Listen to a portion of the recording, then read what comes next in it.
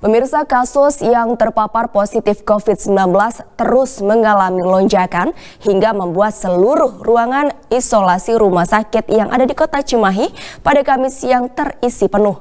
Tak hanya itu, jumlah kasus yang meninggal terus bertambah menjadi 27 orang dari total 867 kasus positif.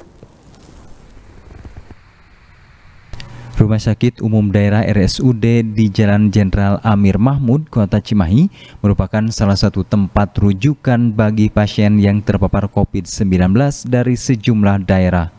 Tanya Kota Cimahi, pasien rujukan dari daerah Bandung Barat, Kabupaten Bandung hingga sebagian Purwakarta dan Cianjur pun dirujuk ke Rumah Sakit Cibabat. Namun sejak kurun waktu dua pekan terakhir ini, ruang rawat dan juga isolasi di RSUD Cibabat sudah penuh bahkan over kapasitas. Dari total 50 bed yang tersedia untuk pasien COVID-19, seluruhnya sudah terisi. Dari informasi pihak rumah sakit, saat ini ada tujuh pasien COVID-19 masuk dalam daftar tunggu dan berada di ruang instalasi gawat darurat atau IGD karena ruang isolasi penuh. Dinas Kesehatan menyebutkan tak hanya RSUD Cibabat karena ternyata sejumlah rumah sakit pemerintah maupun swasta juga terisi penuh pasien akibat lonjakan kasus COVID-19.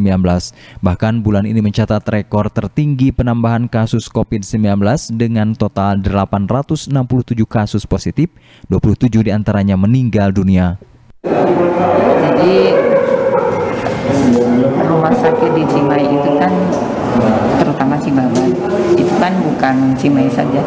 Itu kan sudah di SK gubernur menjadi rumah sakit rujukan Jawa Barat itu kan.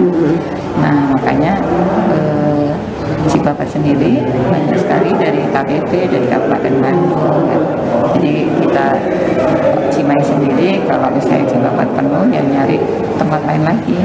Kayak kemarin ada yang daripada suka sakit di kota Bandung lah di daerah Buah Batu itu karena di Cimahi udah penuh Nah, kemarin rapat dinas, salah satu yang menjadi fokus kita ke sana. Karena ini ternyata dari kurun waktu 8 bulan selama ada pandemi ini, ini bulan-bulan ini termasuk bulan yang paling tidak baik. Untuk itu ya perlu diantisipasi ke sana. Kini pasien positif COVID-19 yang tidak tertampung di sejumlah rumah sakit di kota Cimahi dirujuk ke RSHS Kota Bandung.